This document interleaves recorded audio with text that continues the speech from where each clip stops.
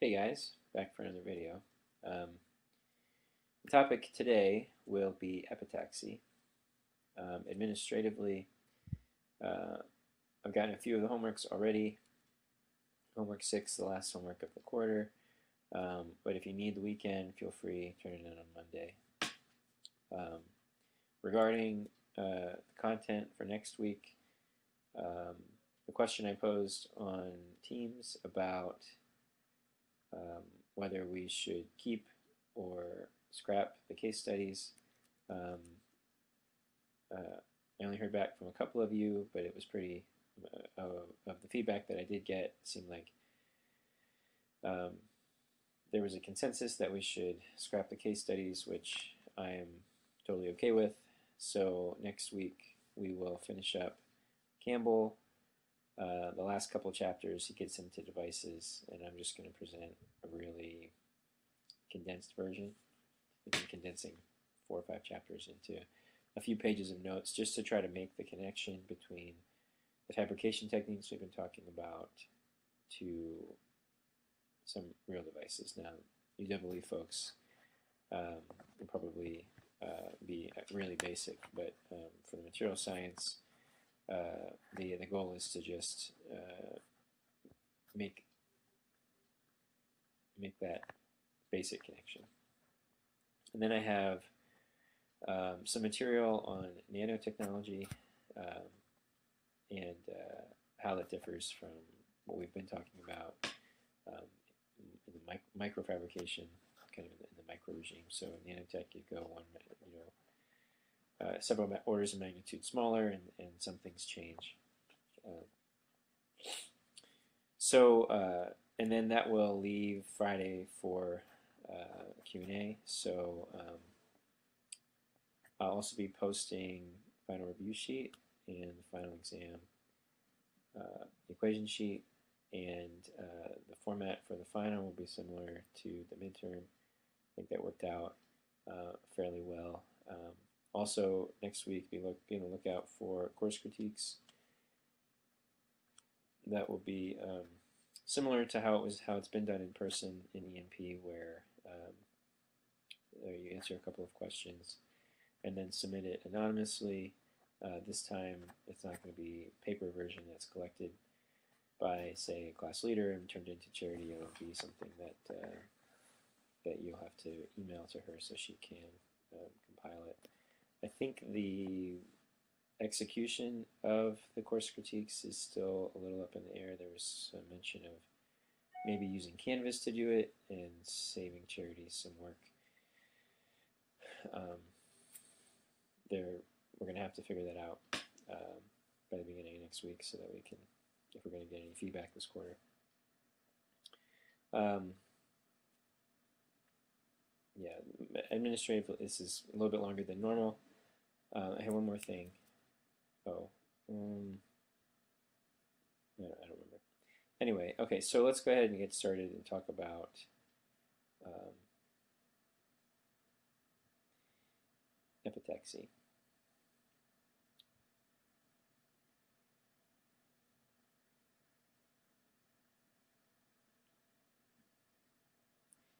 Um, and before I start, so there, I have four pages of notes here. And um, the chapter has a lot more detail, obviously, than I'm going to cover here. Um, I'm, I'm focusing on the basics, and uh, if I'm, you know, to be honest, the further we go into this material, um, the less comfortable I am with it. Meaning, um, you know, uh, just maybe not comfort may not be the right word, but just the depth of my experience. Um, a lot of this stuff is uh, getting sort of outside of my wheelhouse. But my goal is to condense the basics, the, the main points, um, and to tie it back to what we've been talking about um, uh, in, in our previous, uh, previous chapters, the other techniques. Um, okay, so epitaxial growth. Uh, how does that differ from what we've been talking about?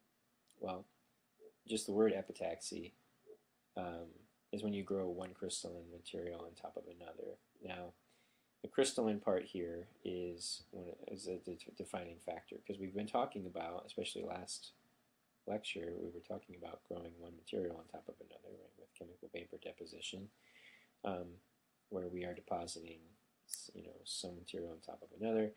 But in in traditional uh, kind of thinking about um, to try to find an analogy. I guess those those layers are kind of like I don't know uh,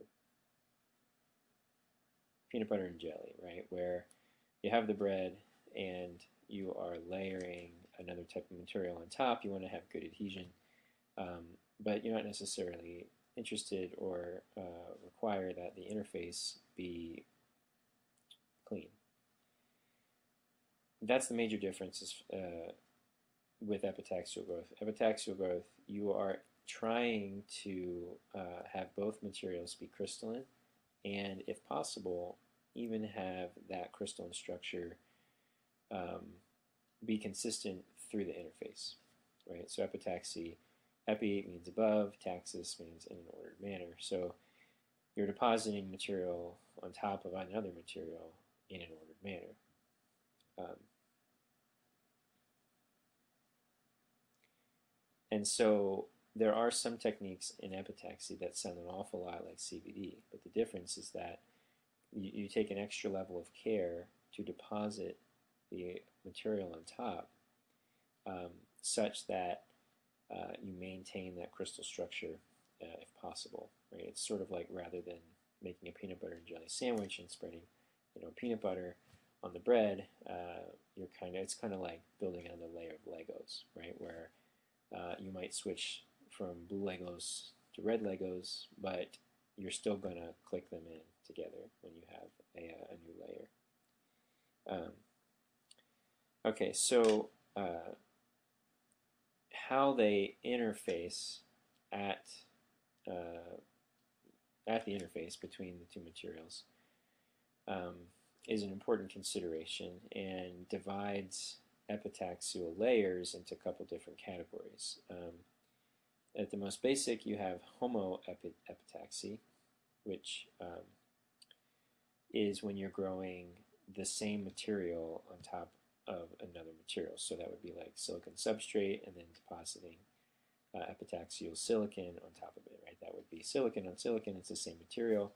And so you're going to have uh, a good interface because it's the same material, it has the same size atom, it has the same um, lattice spacing.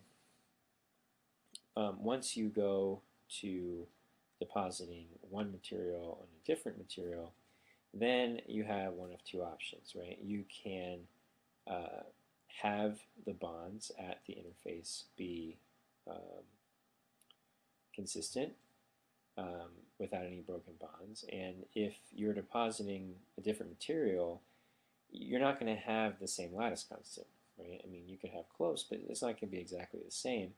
And so if you're going to maintain the same bonding um, across the interface, then uh, one material is going to have to adjust, right? So you're going to have some lattice strain um, on whichever one is making the bigger adjustment. Um, right, so here you're kind of, this is kind of depicting the fact that the lattice constant would normally be, say, something longer like this, but it's being constrained to match up with the silicon in the underlying substrate. So this sort of scenario is called pseudomorphic.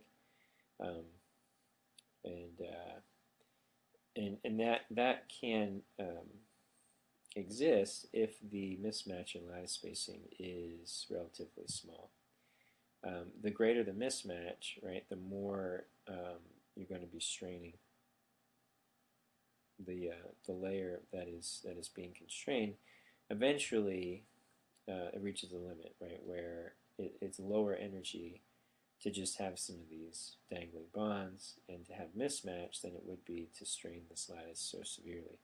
And in that case, you transition from pseudomorphic to a strain relaxed incommensurate, right? So incommensurate meaning they don't match, and uh, rather than straining one excessively, um, you you just uh, basically they each take whatever lattice spacing uh, is best for them and they bond where they can. Uh, sometimes um, you have broken bonds or uh, strained strained uh, bonds, sort of. So incommensurate um, interfaces are not as um, ordered, right, as the other as the other kind. But um, if you have a big lattice mismatch, that's the best you'll be able to do. Um, so if you are going to uh, deposit new material and you want to um, um, maintain the crystalline nature across the interface, now obviously you need to access that underlying crystal structure, right? So if you have silicon, if we recall back to the oxidation, right, anytime that you have silicon exposed to air, it's going to oxidize very rapidly.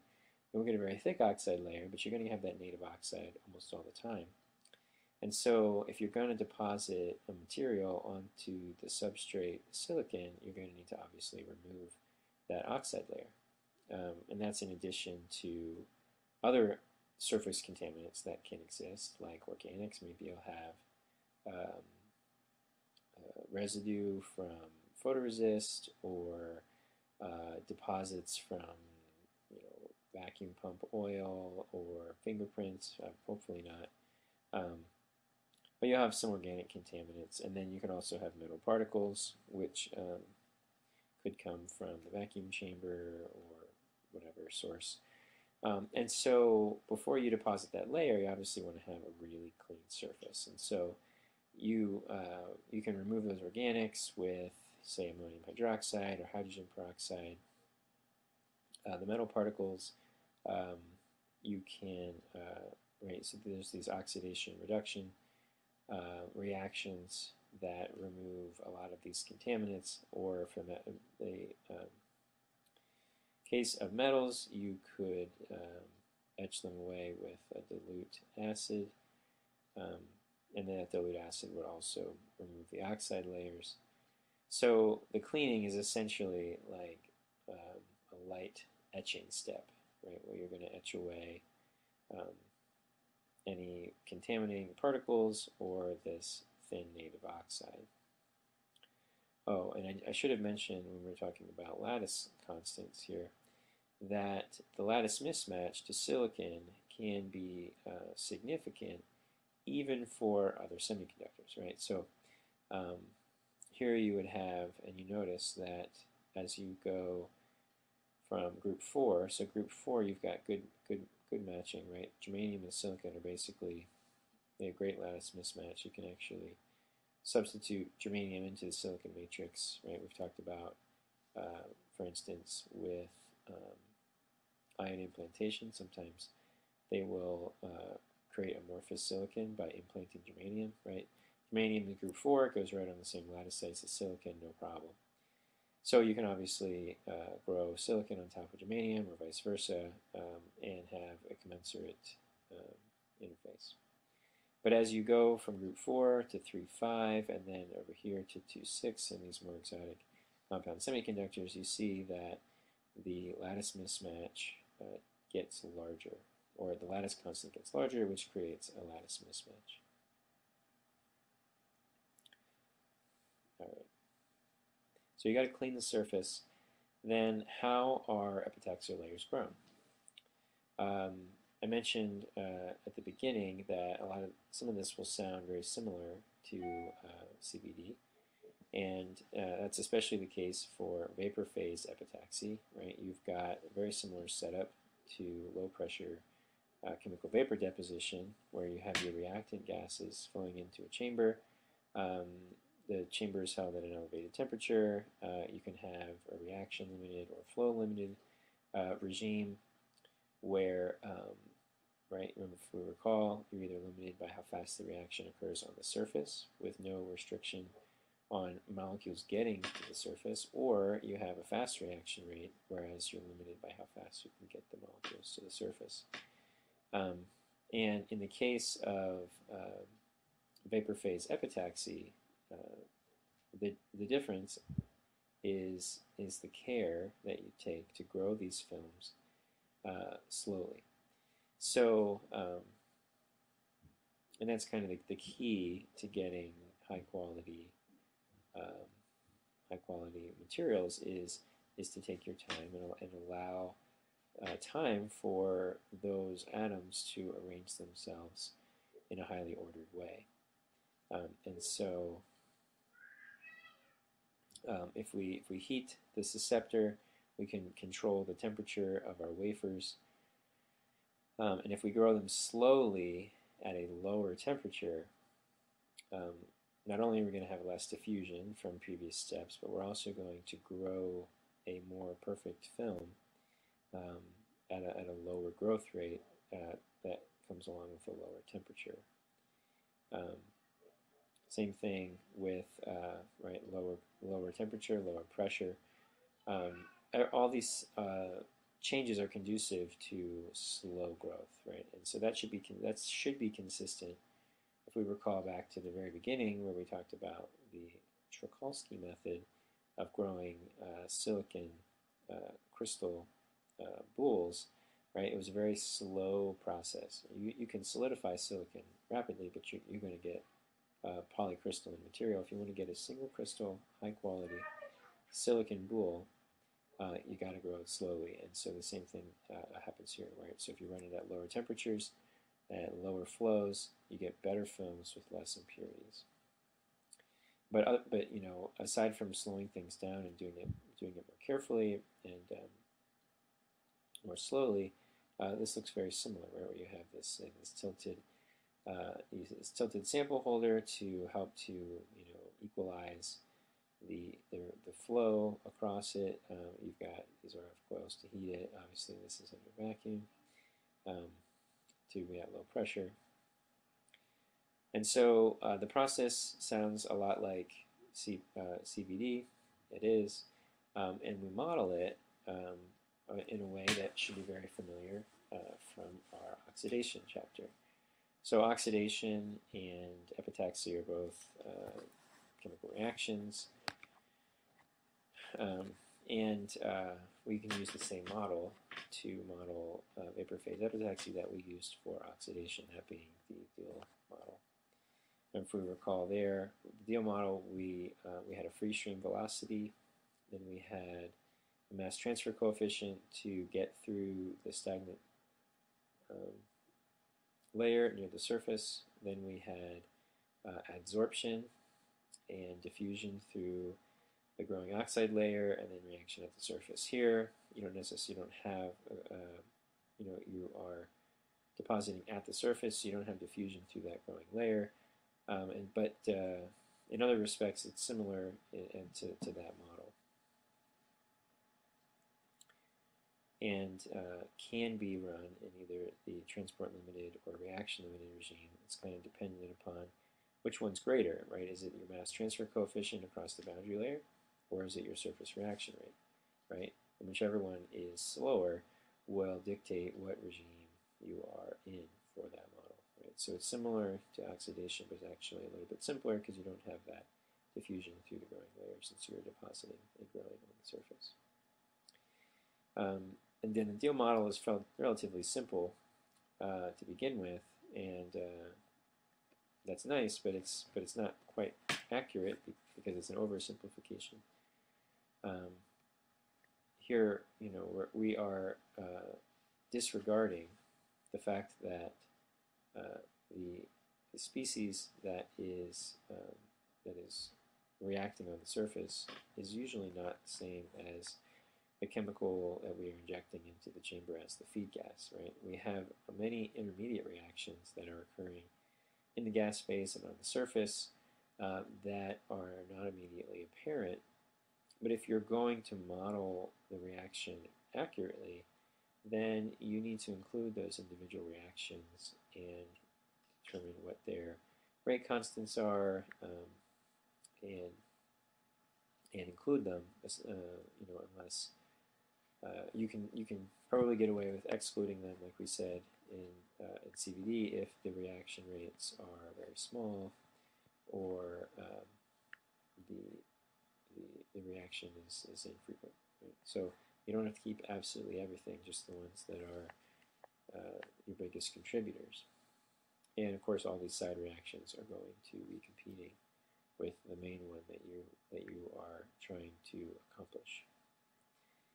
Um, and here it just explains a little bit of that. So you have this rate, right? So that'd be your deposition rate, and uh, it's dependent upon in various in various ways the uh, the rate constant of the reaction at the surface that is forming that deposition, um, you know, depositing the silicon or, whatever material you're, you're, you're growing.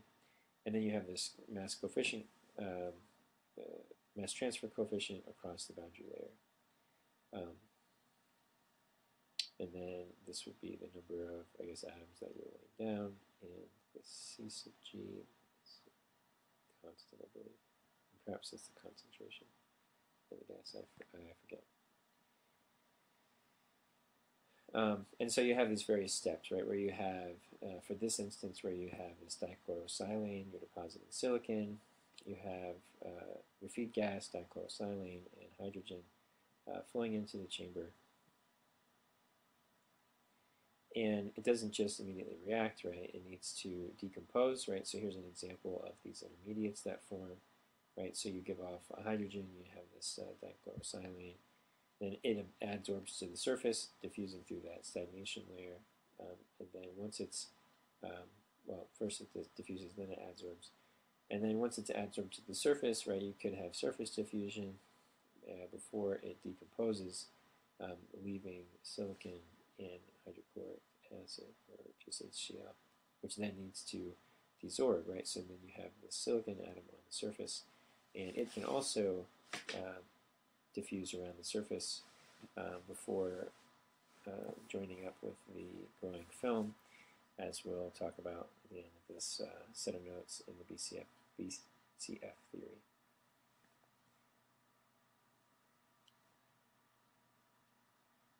And um, the example we showed on the previous page is, um, is a common one, especially for depositing um, silicon, so doing silicon epitaxy. Um, it's common to start with these uh, chlorosilanes. So you have um, different numbers of chlorine, right, up to four, um, and then the, the, balance of the bonds will be uh, complete, uh, filled up with, with hydrogen. And so you have these uh, these chlorosilanes, and then also uh, you'd have them um, diluted in hydrogen as a carrier gas.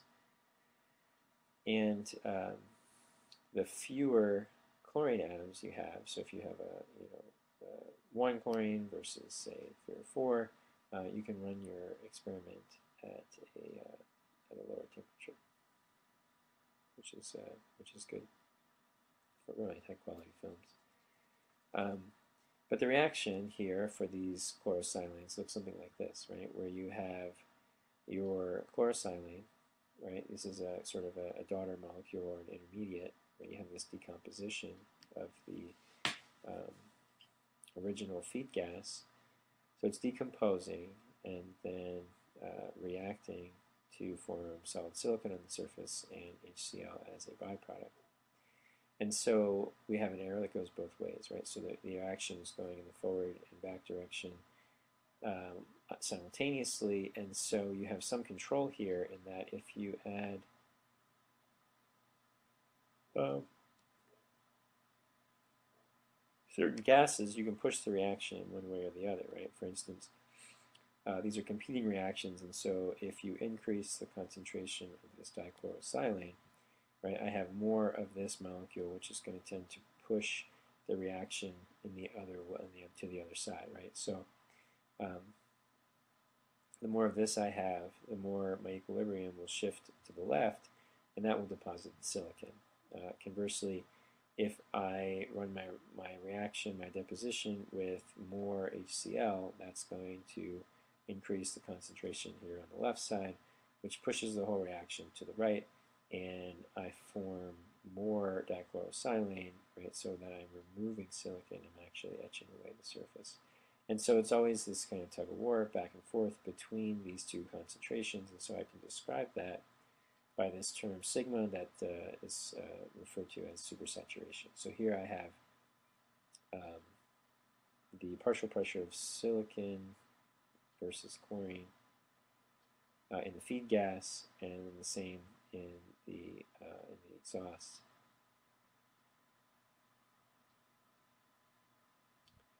Um, and so if this sigma term is, uh, is negative, right, then I've got um, I've got a situation where I'm where I'm undersaturated, um, and I will um, etch away the surface. Right, so if I'm negative, then I've got um, higher proportion here, um, which is going to drive it backwards. Um, positive value means that I've got uh, lots of silicon, and I'm going to be driving it in the other direction.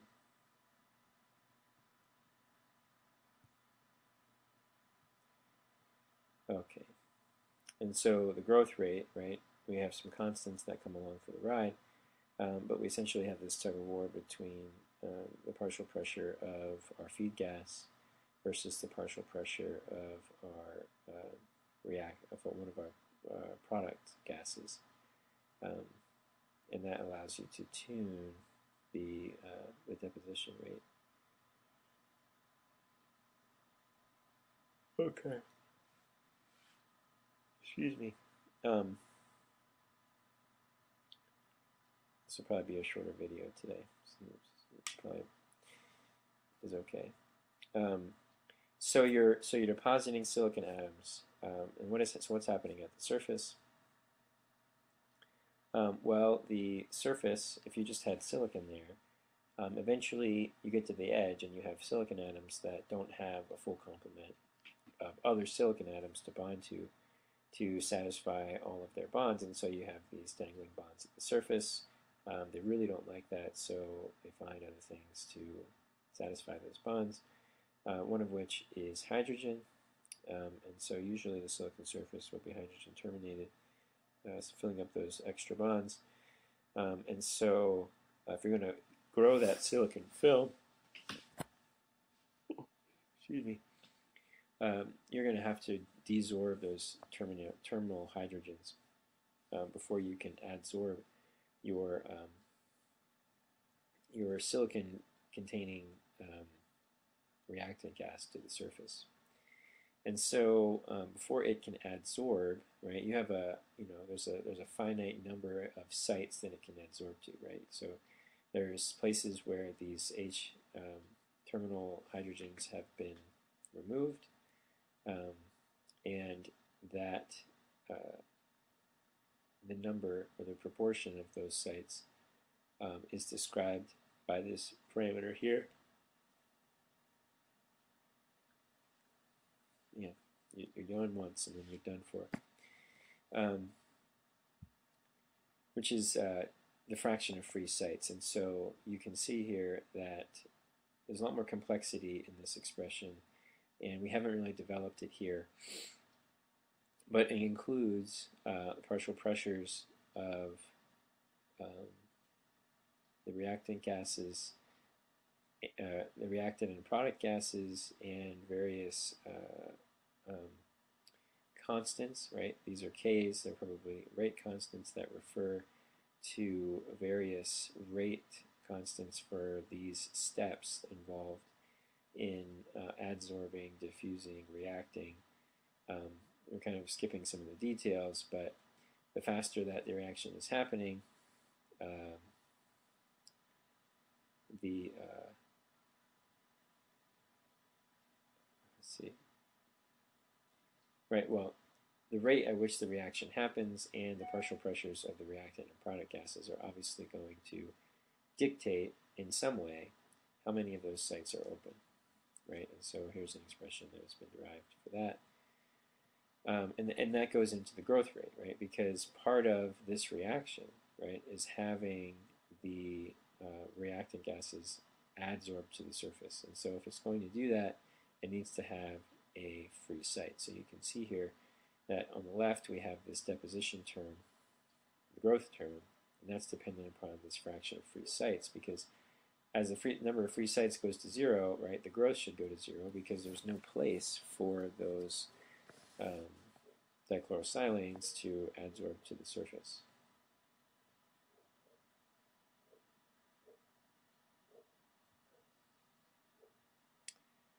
Um,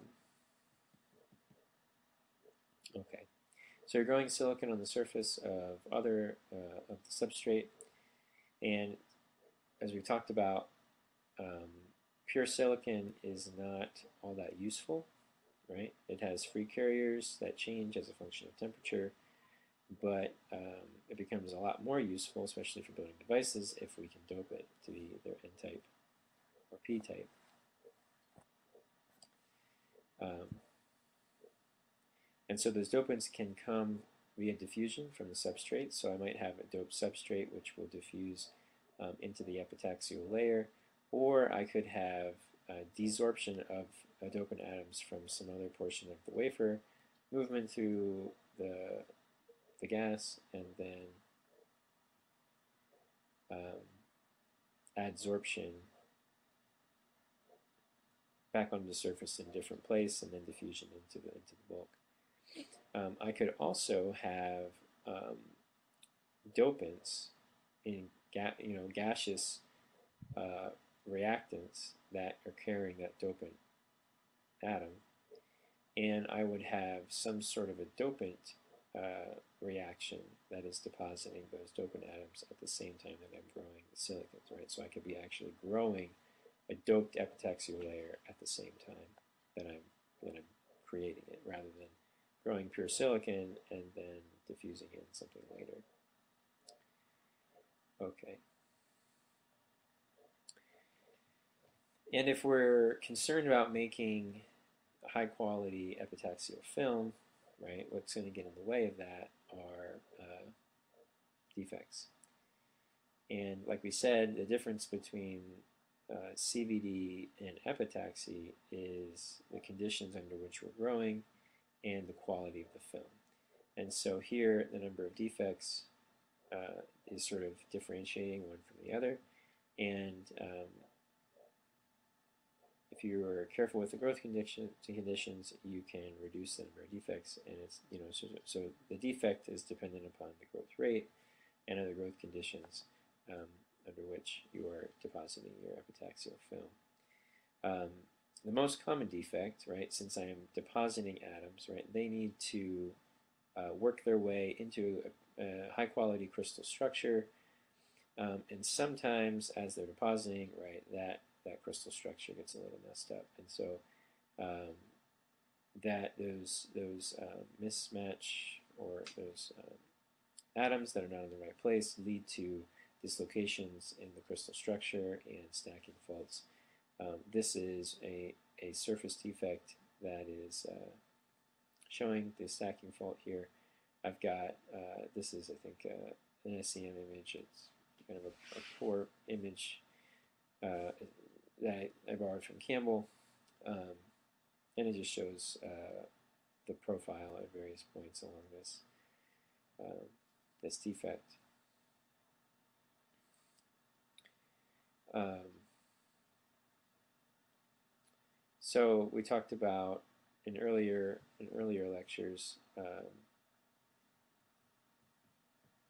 I guess in the etch lecture especially, um, the selectivity of one etch process um, for one material over another, right? So say, for instance, chemical etch, you're going to etch away the oxide a heck of a lot faster than silicon. You can use that to your advantage. Um, you can also do something like that with epitaxy, where uh, nucleation of the, the new epitaxial film occurs much faster on some substrates than others. Right? For instance, it's much faster on bare silicon than it is on oxide um, and on silicon nitride. So if you have a sample that has different regions, right, you could actually selectively grow an epitaxial film on one versus another just because of the rate of growth being so much higher on one material over another. Um, and here's where we kind of get into various uh, permutations of this technique. That's kind of where all of the material in the chapter comes from. There's a lot of extra detail, kind of trying to condense it down and focus on the basics, like I said. Um, but you can also have metal organic CVD. So here is a very it's a similar idea where you have uh, gases flowing into a chamber, reacting. You might have a tilted heated susceptor holding your wafer. Um, but in metal organic CVD, you're starting off with uh, you have your metal atom that you are depositing, right? Whether it's uh, uh, well, it can be various different metals, but it, it is bonded to by these organic groups. So that's where the organic part of the metal organic comes from. And then these obviously need to decompose at the surface, depositing that um, that atom to grow into the, the growing film. Um, and uh, uh, metal organic CVD is going to depend, you know, the quality of the film you get out of it is going to depend on how uniform and constant your gas flow is uh, going into the chamber. The conditions of your chamber, right, is your susceptor tilted to maintain a constant flow, uh, rel relatively uniform from, from the beginning, from the front to the back. Um, what's the pressure? Are you in reaction limited or transport limited regime? How are your wafers arranged, right, all those things. Um, and a lot of these metal organic uh, compounds are very toxic, right? So that that introduces a lot of uh, uh, issues for health, um, especially the arsenic containing ones, right? You could have a cylinder, if you were to vent a cylinder, you know, you might contaminate or, you know, you could poison an entire city block, something like that. So um, you be really careful with these metal organic CVD molecules. Um, okay.